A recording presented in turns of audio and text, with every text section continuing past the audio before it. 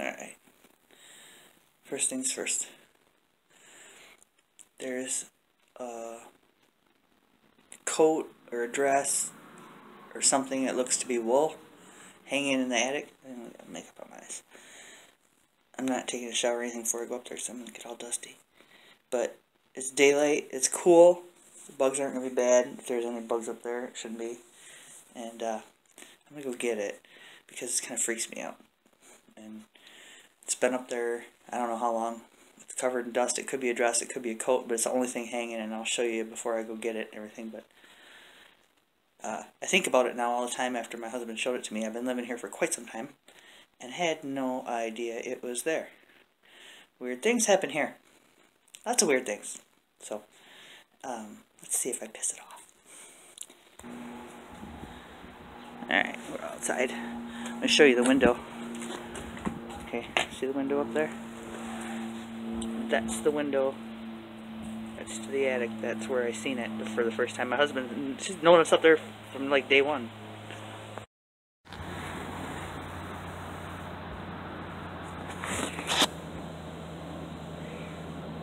Okay. I don't know. You can see it pretty good. Okay. But, okay. Tell me that's not, not creepy. Why is it the only thing hanging in the attic?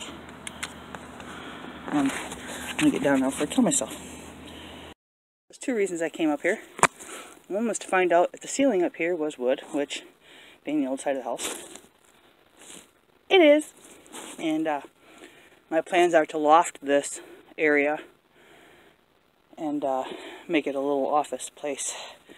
And I think that I can get that done with minimal work. But I'm being very careful because I don't know how strong these boards are. I'm trying to stay on the studs because I don't want to end up in the living room. And, uh, yeah, and uh, the, the coat, I'm getting like, it's right there. So, um, if I touch it and I go through the floor, you'll all be witness. Oh, Shit, see, see, see, I'm going to get it down with a, with a hanger from right there, I think. Oh no, it's going the don't, don't you come at me. I'm scared, really, I am. I'm freaking out. Okay, okay, come on. It's okay, come on now. You're cute. Oh, you might be a cute, ooh, little coat.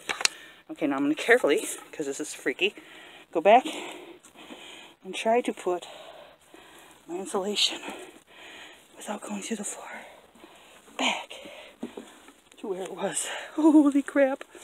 Okay, coat is kind of cute, and it's going to go away right here for now, and then I'll get it outside. Stir up too much dust. Alright, well I thought it was gray, but it's not. It's kind of a blue. It's kind of cute.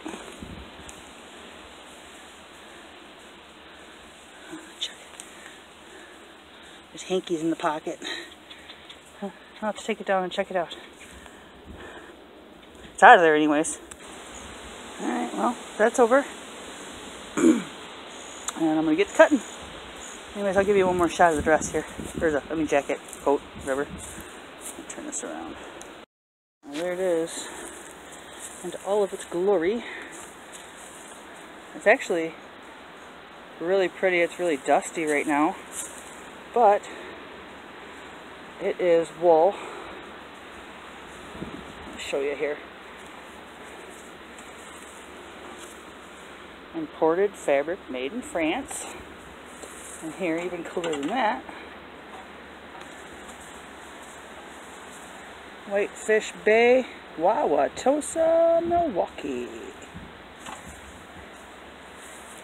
The name of the coat is the Grand, and it is actually, after it gets cleaned up, it's this beautiful, oops, I'm sorry, it's this beautiful fabric, and look at the actual color on that. It's pretty.